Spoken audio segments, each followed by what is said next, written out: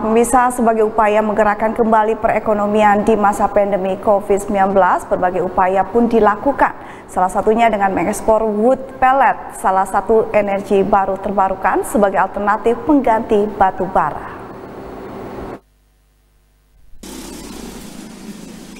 Mewabahnya COVID-19 sejak awal 2020 membuat dunia bisnis di Indonesia khususnya Jawa Barat sempat tertekan. Sebagai salah satu upaya untuk kembali menggerakkan perekonomian di masa pandemi COVID-19, pemerintah melalui BUMN berencana mengekspor wood pellet di antaranya ke Kanada dan Korea. Sebelumnya, ekspor bahan wood pellet yaitu plywood telah dilakukan pada awal September ke Malaysia, Singapura, dan Taiwan.